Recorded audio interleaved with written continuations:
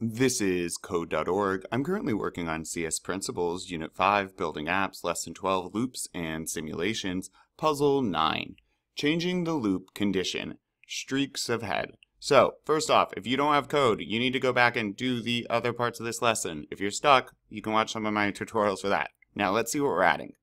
We want our simulation to run while the streak of heads is less than a targeted length. Interesting.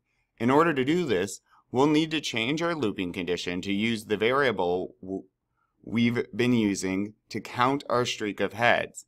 To begin with, your, your simulation should look for a streak of three heads so that we can still visually confirm the output.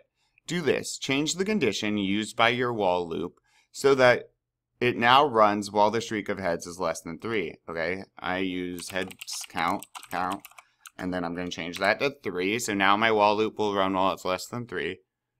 Test your program, okay. Haha, 3, cool. Um, no, as before, it's possible that your output will sometimes run off the screen. You can still confirm your code is working as intended.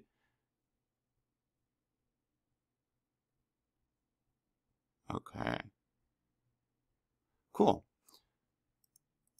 Let's, um, oh, uh, yeah, great. So all I did was change this back to the variable of our counting, what we're using to count the streak with, the heads count, and less than 3.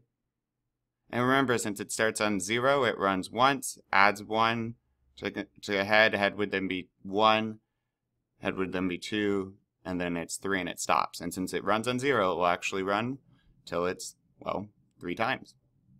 Let's keep, oh, this is what adds one to it, though, not count.